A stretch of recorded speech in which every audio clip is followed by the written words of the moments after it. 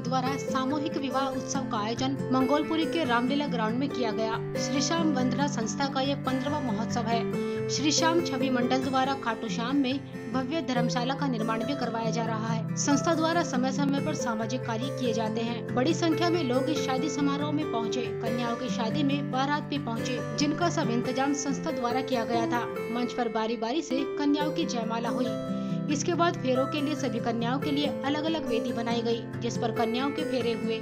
मंडप में कुल इकतीस जोड़ों की शादी संपन्न हुई, जिसका सब खर्च भी श्री श्याम छवि मंडल ने उठाया। 2014 से अब तक 100 से ज़्यादा कन्याओं की शादी का कार्यक्रम संस्था करवा चुकी है।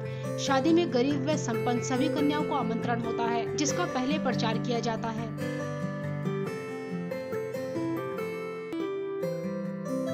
ये प्रोग्राम तो हमारा पंद्रह साल से है। लेकिन शादियों का प्रोग्राम अभी भी भी छह साल हुए हैं। तो जो गरीब खर्चा आता है किस तरह से उसको मैनेज किया जाता है और किस तरह से जोड़ों का चयन किया जाता है? जोड़ों का चयन तो हम पहले हम फार्म भर उनका बोर्ड लगा देते हैं जो जो जोड़े अपने आप आते हैं।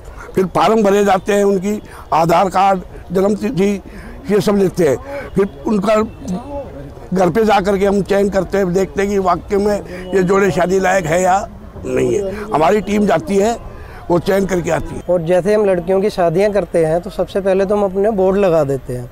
उसके बाद लड़का लड़की वाले हमारे को आईडी देके जाते हैं। उसके बाद हमारी मंडल की जितनी भी टीम है, उसमें पाँच पाँच का ग्रुप होता है। जैसे अभी हमने इकतीस शादियाँ करी हैं तो पाँच पाँच के ग्रुप उनके घर पे जाएँगे और उनके गली में जाके आस पड़ोसियों से सभी से पता करेंगे, कभी इस बच्चे की शादी हुई है, नहीं है, इनकी क्या स्थिति थी। अगर कभी उनकी शादी नहीं होती थी और मंडल को लगता है कि इनकी स्थिति ऐसी है कि मंडल द्वारा इनकी शादी करवाई जाती है, फिर हम उनका चयन करते हैं।